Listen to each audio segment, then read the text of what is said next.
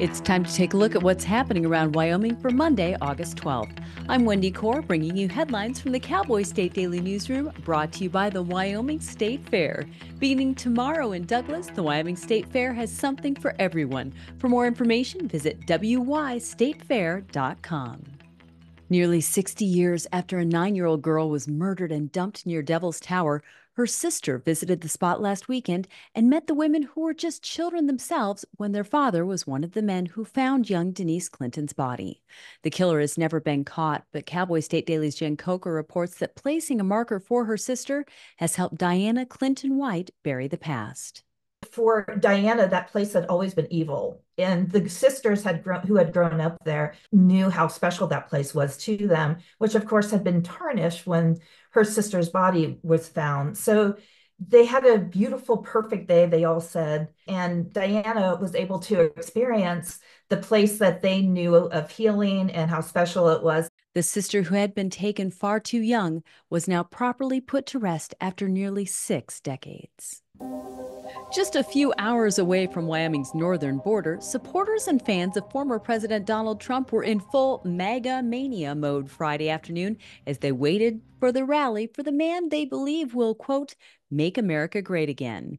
Politics reporter Leo Wolfson was in Bozeman, Montana for Trump's Friday rally. He says Trump's speech to his local supporters was very similar to the speech he gave at the Republican National Convention just a few weeks ago, but it was his conversations with Trump supporters that he found most interesting.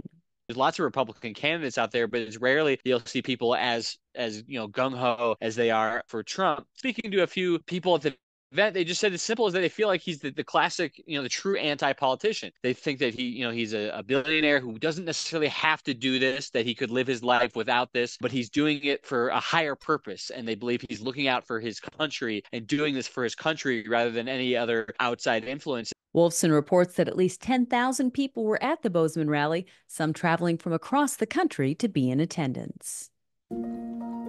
Hedge funds and a major exchange traded fund with a passive position in some publicly traded stocks in Wyoming's uranium industry are sniffing around for investment opportunities in the critical ore, which is needed as fuel for the nuclear industry. Energy reporter Pat Maio says their investment strategy is to pool money from private investors and earn above average investment returns by finding under the radar possibilities there's a lot of Wall Street appetite for stocks that are playing in the uranium market right now. And when you get hedge fund interest, that's interesting. We're not talking about two and three shares that you and I might buy, but we're talking about, in some cases, millions, in other cases, hundreds of thousands of shares. According to filings with the Securities and Exchange Commission, all the funds are targeting publicly traded stocks in central Wyoming's Red Desert region and the energy rich Powder River Basin in the state's northeastern corner. And now let's get a look at today's weather. Cowboy State Daily's meteorologist Don Day has the outlook. Well, Wendy, for those who have enjoyed the cooler temperatures and some of you who've been lucky enough to see some rain from those afternoon and evening thunderstorms, that's going to continue through Wednesday. Through Wednesday, there's a lot of monsoon moisture around, and that's going to lead to a good chance of afternoon and evening storms, maybe even some heavy rain producing thunderstorms in southern and southwestern Wyoming, and temperatures through midweek will be cooler than average, warming up and a little bit drier though by Thursday and Friday. You can get Don's full forecast on the Cowboy State Daily website. I'll be back in just 15 seconds with more news. Your attention is precious.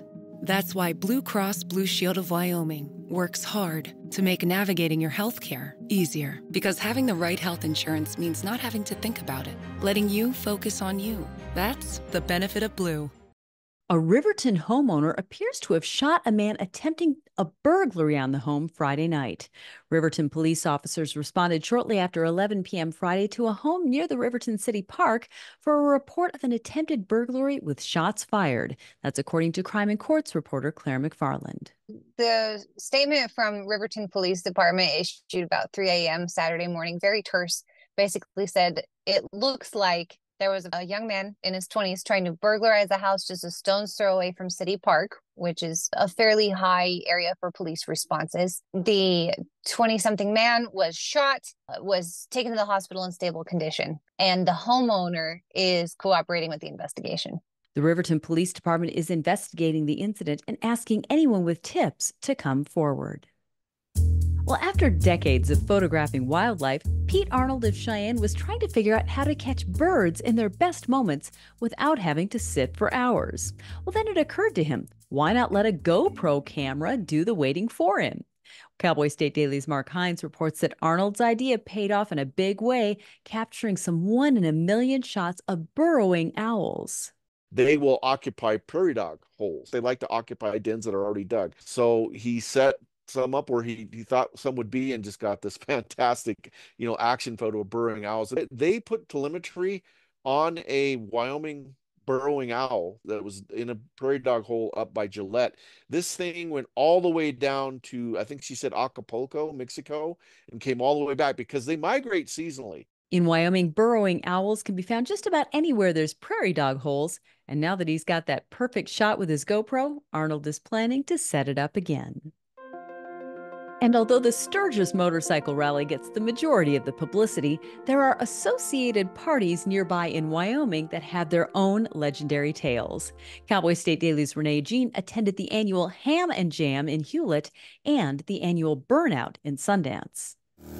These towns have come up with these events as a way to draw in Sturgis rally goers in Hulett, some guy named Jim Delancey came up with a free pork sandwich and a free music concert. The Burnout has a legendary start as well. Some guy in the bar, probably a little toasty, decided he was going to do a burnout right there in the bar. And everyone's like, yeah, cool. And the owner's like, no way.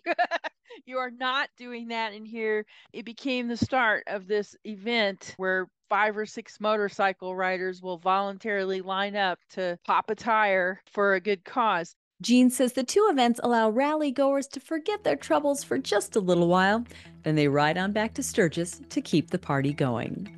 And that's today's news. Get your free digital subscription to Wyoming's only statewide newspaper by hitting the daily newsletter button on cowboystatedaily.com. And you can watch this newscast every day by clicking subscribe on our YouTube channel.